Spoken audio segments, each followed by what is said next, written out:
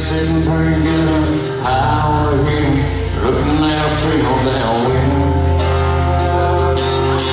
If I can make a nickel off of turning them bass, and if I worry about the price of gas, I'd be living, even sitting there reeling a man. Oh,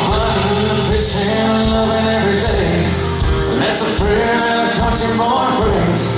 Thank God it made